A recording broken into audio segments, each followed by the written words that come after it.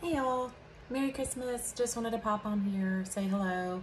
Uh, I'm sure a lot of y'all have heard about interest rates coming down a little bit last week and everybody's interested in what they're going to do over the next couple of weeks. And while we don't know, what we can do is start to prepare for your next home purchase um, because it is going to be and it is a good time to buy a house currently. Um, so what what do you do? What is your first step in purchasing a home? Whether it is your first time buying a home, whether you've bought multiple homes, whether you're buying an investment home, what is your first step? Your first step is you want to find a really good agent. You want to find somebody who knows the market that you're going to buy in, um, that they are a neighborhood expert or they're willing to become a neighborhood expert um, in that area. What does that mean? They that means they're not afraid to knock on somebody's door and ask them if they're selling their home or if they know anybody that's selling their home. They're not afraid to send postcards. They're not afraid to make calls in those areas to help you find your um, your next home. Um, the next thing you want to make sure is you want to make sure they know other agents. For example, I work in an office with over 400 agents, and we have a market share in the Birmingham area, which means if there is a home um, coming soon, I'm sometimes I'm one of the first to know about it um, in the area that you're looking in before it's even put online. So you want to make sure they know their agents and that they have good relationships with them.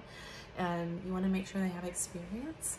You want to uh, know that they have um, closed a few deals and they know how to work through the various different problems that you're going to encounter or challenges that you definitely encounter um, in every in every purchase. Um, some are harder than others, but you want to make sure that they are um, a problem solver and have resources to help you um, navigate through this um, this process.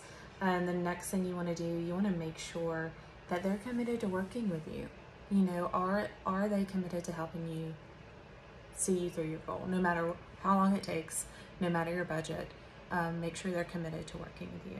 And then definitely the last thing I would say is you want to make sure that they are well connected with other vendors in the area, with title attorneys, with um, with insurance companies, with contractors.